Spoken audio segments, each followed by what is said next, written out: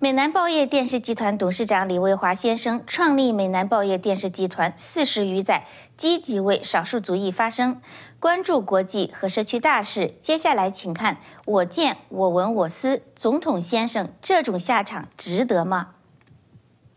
终于，川普的一群暴徒周三发动向国会大厦之攻击，造成五人死亡之悲剧。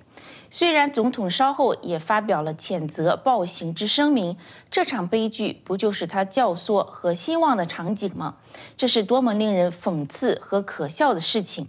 事发之后，在巴黎，法国总统马克宏站在美国新雕旗前，以英语说：“我们相信我们民主制度之力量。”德国总理梅克尔感到愤怒和悲伤。他把袭击国会大厦事件毫不含糊地归咎于川普，此事件充分说明西方世界对美国民主脆弱的担忧。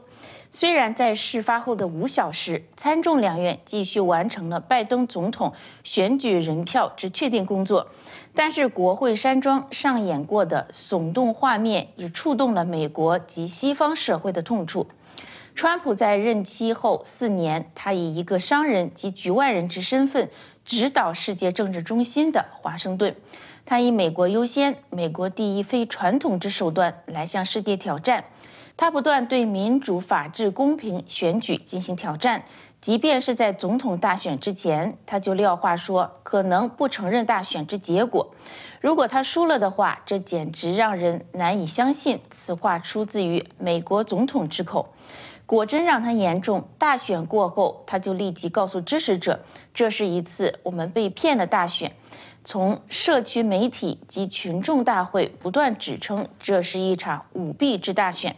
虽然他史无前例地拒绝接受败选，最令人不齿的是，近三分之二的众议员及数位参议员也加入了行列。今天在众议院将加紧对川普制弹劾案，也同时希望副总统彭斯动用宪法第二十五临时条款把川普拉下台，但是成功的可能性非常小。攻击国会大厦之后，可以想象，川普即便走出白宫，他也不可能罢休，尤其是死忠支持他的川粉，据说还要在元月十七日卷土重来。政治观察家们怀疑，当天在国会驻守的警卫有放水之疑。为何万人之警卫如此不堪一击？全国社区媒体已经把川普下架，禁止他再发表煽动言论，危害国家之安全。我们要问川普总统：您的行为值得吗？